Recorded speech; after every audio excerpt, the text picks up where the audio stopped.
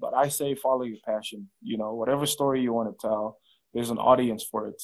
You know, somewhere. Um, I myself, I'm not Afrikaans. I'm not even South African. You know, so when we were shooting this movie, I didn't understand a word of Afrikaans. Um, but yeah. You putting woman in top, money behind you losing again. Ain't gonna go cause I'm the one. Said I'd be fine, never the car, she calling again. I'm standing the laughing, I know I'm hands, I'm tripping again.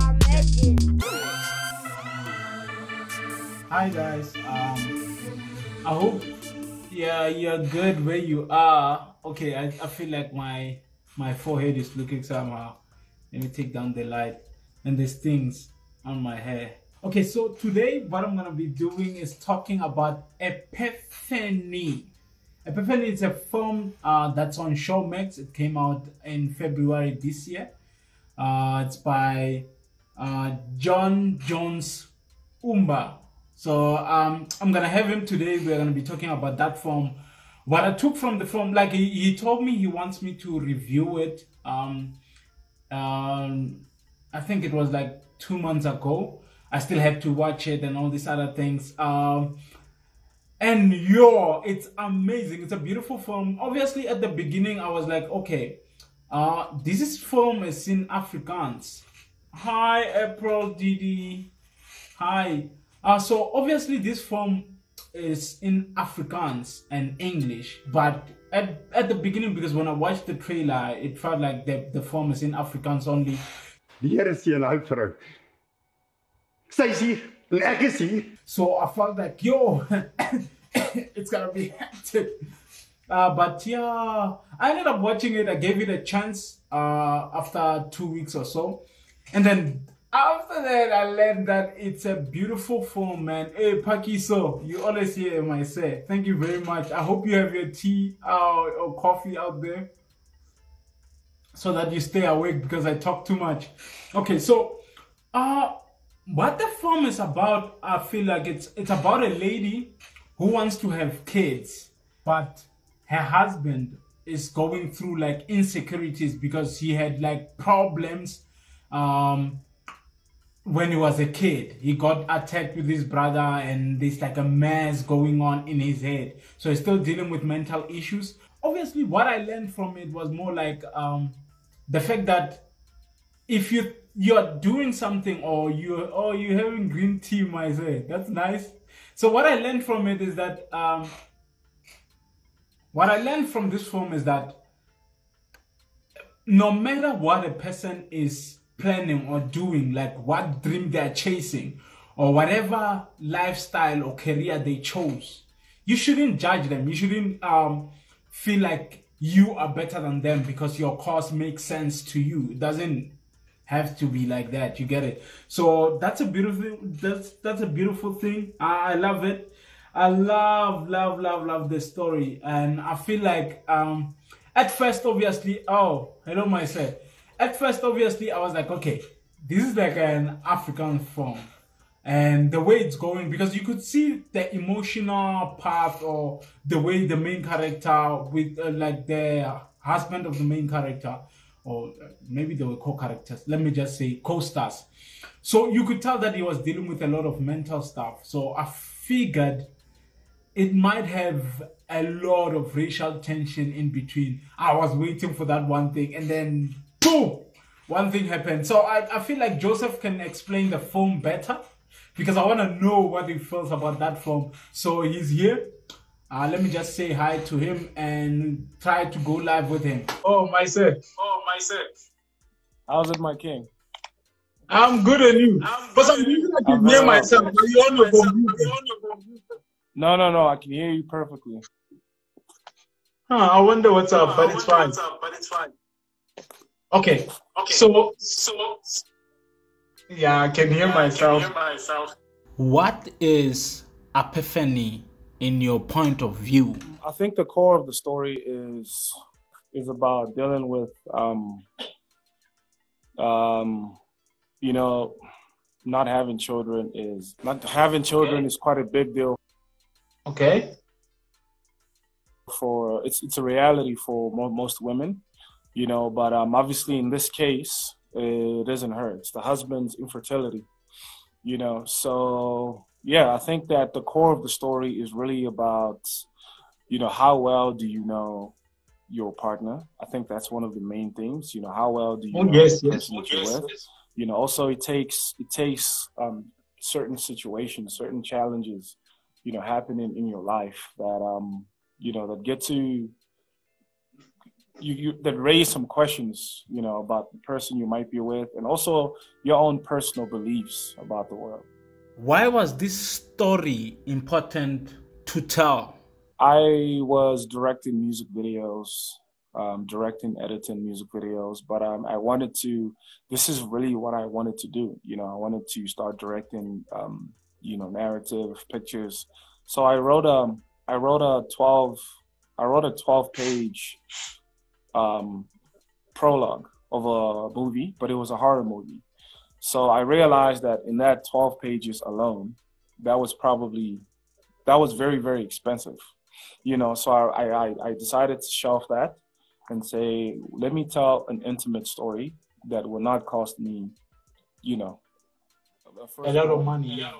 yeah, a lot of money yeah let me let me make something something very personal you know so i i, I read i read a story my producer actually um, showed me a story somewhere in the us about this lesbian couple this white lesbian couple that could not adopt that wanted to adopt but they could not adopt a black baby because they said that in their neighborhood you know uh, they lived in quite a racist neighborhood you know so they didn't want to Oh, bring yes. their child Oh, into yes. that so i was quite inspired by that and i was thinking living in south africa you know like racism is a reality you know um we all get to experience similar things so i thought okay let me how do i you know tell i like the story how do i tell a south african story of this perspective What would you want people to take away from this story? I think that the message is because you know we had we had different endings for the film, right?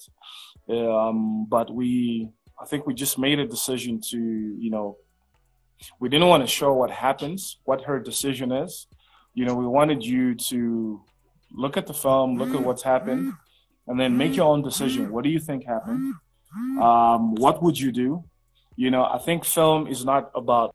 Okay, your network is cutting at the moment. I don't know what's happening. I don't know what's happening. Can you hear me? Yeah, I can hear you now. I can hear you now. Yes, so I was just saying that, you know, um, I think the point of movies is to ask questions, not to lecture people about how they should live their lives. You know, so if you see that, if you're in that situation, what do you do? How do you think this ended? You know, it's really up to your own interpretation. What other works does Jungle City Pictures do? Uh, so we are a full service um, creative uh, production company. So we we um, we do music videos, we do brand films. We are trying to get into the commercial space, you know, but our main focus right now is um, music videos. But we are really trying to get into the commercial space and more feature films. The production value was amazing. How did you manage that with your budget? I think I would give all credit to my cinematographer. His name is David Kabale.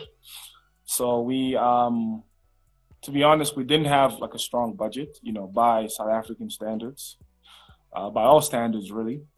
Uh, we didn't have a strong budget, so we decided to put a lot of focus, our focus, into making sure that because on an indie film, you have to make sure your performances are right because you don't have the production value of millions and millions, and then you have to make sure at least your cinematography complements the performances and the story. Oh yes. you know. So yeah, I have to give all credit to my cinematographer. You know, he really put through. We yeah, I appreciate that. How do you raise funds for a feature film? so you know, funds that's it's it's it's a very difficult and long journey. So the thing is, this movie was self-funded, um, obviously with some very very generous donors. Um, the film was self-funded. It took about probably a year to put everything together. You know, things had to be sold. Um, yeah, some things had to be sold. Um, yeah, we just it was it was we we have to thank some of our incredible donors for for the funding that we had. It was difficult, but you know we we, we put through. But um, I think the main source of funding for everyone should be the NFVF, the DTI. You know, it's just that for this one, I was in a rush. I blame my own, you know, um, persistence, naive persistence. You know, um, I would say in a way a little arrogance to think that you know I wanted I just wanted to make the movie. I didn't want to wait for NFVF funding, for DTI Oh, yeah. funding. Oh, yeah. You know, so yeah, but I think the the route to go is NFVF and DTI, definitely. Do you have any advice for emerging filmmakers? I think that is um, yes, we all have our stories we want to tell, and that's fantastic. But the reality is funding. You know, like if I want to tell a sci-fi movie, um, we have to deal with the reality of what your situation is. So I think that if you can, if you can, try to come up with uh, your first feature film anyway. Try to come up with something very close to your heart. Um, something that won't cost you too much money, you know, because I think Yes. that that is a realistic target to make. You know, that is more accessible to everyone. But I say follow your passion. You know, whatever story you want to tell, there's an audience for it. You know, somewhere. Um, I myself, I'm not Afrikaans. I'm not even South African. You know, so when we were shooting this movie, I didn't understand a word of Afrikaans.